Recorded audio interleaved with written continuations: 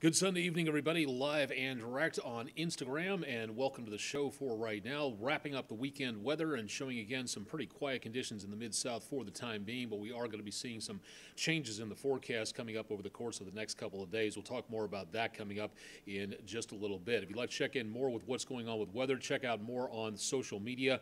All these pages down here and all available through wreg.com slash weather. Taking a look at temperatures over the next several hours, beautiful for a jog or a bike ride. As you can see down around the area of Shelby Farms, temperatures will be kind of nodding off by just a little bit through the evening, but not looking at a lot of cooler weather anytime soon. Things are going to be decently quiet out there throughout the rest of the evening. Mostly clear skies in the mid south overnight. A few clouds here and there, but otherwise not looking at too much out there in the way of major changes for the mid south anytime soon.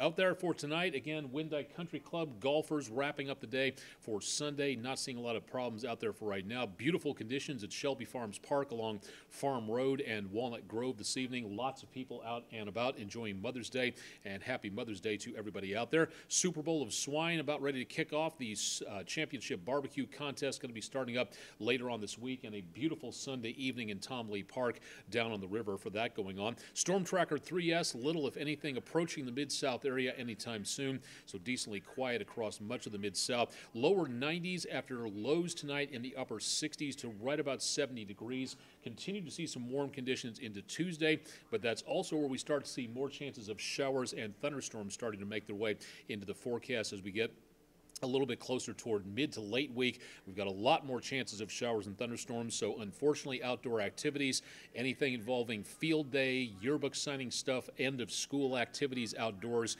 may have to consider some indoor activities out there. Not to mention the fact that temperatures over the next several days are going to be very much on the warm side. So, we will be looking at some fairly warm conditions out across much of the area coming up into the next several days. So, keep that in mind if you have any outdoor plans, along with those chances for showers and thunderstorms across much of the area. We'll have updates on your forecast coming up tonight, just past 8 o'clock on our main Facebook page, where you can ask more weather Q&A questions out there as well. Todd Demers has your complete forecast coming up on daybreak, and I'll be on bright and early with Bob and Josh on Talkback Live on AM 730 if you'd like to know a little bit more about what's going on there. Thanks for joining us for tonight's Instagram wrap-up of the weekend weather. Stay tuned for more with News Channel 3 at 10 and throughout the rest of the weekend on News Channel 3 on air and online.